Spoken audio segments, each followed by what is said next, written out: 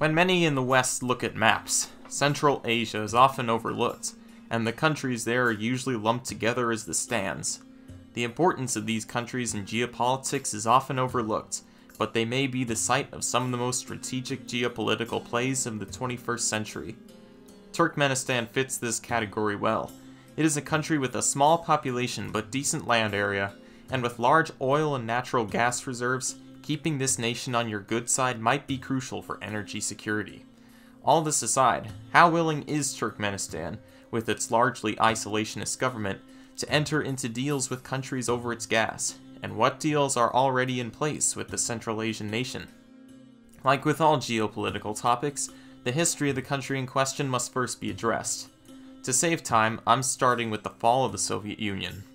Turkmenistan gained independence from said union on the 27th of October 1991, and from that day forward, their current leader, Saparmurat Niyazov, would become the first president of the country.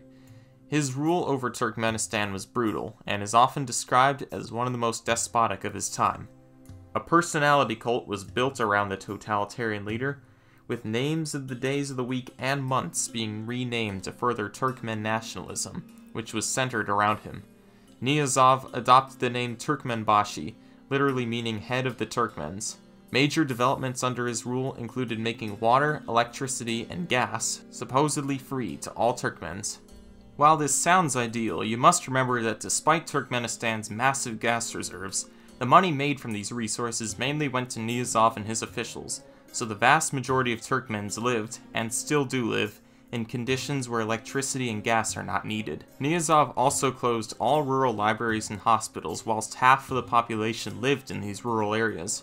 He wanted the country to be centered around the capital Ashgabat, which is clear in the extensive funds he put into this expanse of white marble buildings seen here. Though it all looks impressive, streets are completely empty, and many former residents have been forced to move out of these areas. To top it off, Niyazov even had himself a large golden statue replicating him built in the middle of the city. Following the despot's death in 2006, Gurbanguly Berdimuhamedov, also known as became president and has ruled Turkmenistan to this day.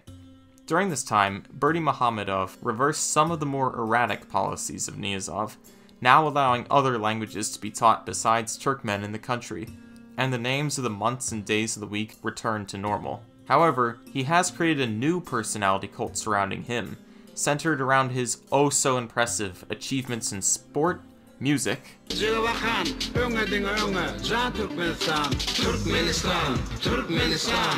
and most importantly, equestrianism.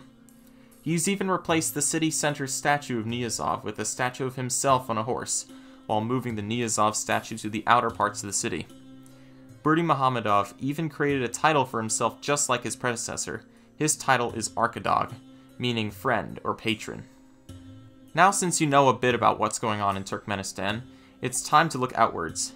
The nation immediately borders Kazakhstan, Uzbekistan, Afghanistan, and Iran, and has a maritime border with Azerbaijan due to the Caspian Sea, which is actually a lake. Outside of the immediate neighborhood, Turkmenistan is not far from major powers like Russia, Turkey, Saudi Arabia, Pakistan, and India. Being at the crossroads of several regions of the world, Turkmenistan has somewhat been influenced by all these nations, either in their ancient or modern forms. Turkmenistan has a close relationship with many of the post-Soviet states, participating in the Commonwealth of Independent States, though it is not a full member. In these post-Soviet states, their strongest partnership is with Russia. Turkmenistan also participates in the Organization for Islamic Cooperation, including another main partner of the nation, Iran. Curiously, Turkmenistan is the only Turkic majority nation not to participate in the Turkic Council, due to its military neutrality, stated in the Turkmen constitution. This specific detail of their constitution defines much of their foreign policy, and much of their identity centers around their neutrality. By this, they are not able to join any military alliances, however they are open to military aid. This also does not rule out Turkmenistan having partnerships with other countries in the region, like Russia and Iran as I've mentioned before, but these countries are not military allies of Turkmenistan. As I mentioned earlier, Turkmenistan lies at the crossroads of many different parts of the world. With globalization being realized faster than many can comprehend, the demand for oil and gas continues to rise in many countries. It ranks sixth in the world for natural gas and has 4% of the entire world's natural gas reserves, which can mainly be found on the country's Caspian shoreline. At the rate the country uses gas, and with known reserves factored in, the country has 191 years left of natural gas before it runs out, so Turkmenistan is more willing than other nations to export its gas. China and Iran have both pipelines that are connected to Turkmenistan, who supplies gas for both these countries. These pipelines were built in 2010 in hopes of recovering the Turkmen economy. In the future, Turkmenistan could be an important regional exporter of gas to other locations in the Middle East, which are starting to run low on their reserves. In regards to other major nations and their oil supply, capital gain from Turkmenistan does not look likely. Russia is already energy independent, and already exports its oil to the rest of the European continent. Great geographic distance separates Turkmenistan from the United States, which is, you guessed it, energy independent as well, and a major exporter itself. For the foreseeable future, Turkmenistan will make most of its money off gas by selling to its Central Asian and Middle Eastern neighborhood, and also China, which is gaining influence across Central Asia as well. In conclusion, the nation of Turkmenistan has a lot to offer its neighbors in terms of natural resources. However, it has the issue of being landlocked, which separates it from many potential nations in need of their gas. Additionally, Turkmenistan's repressive policies hinder most of its population from making any significant gains off the country's resource wealth. That just wraps up about everything, so thank you all for watching. Be sure to like, subscribe, and share this video with all your friends. I'll be starting a Patreon soon, so be sure to check that out in the next coming weeks.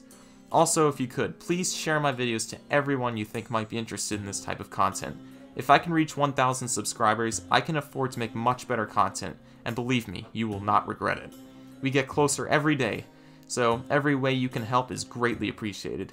Thanks again, and I'll see you next time.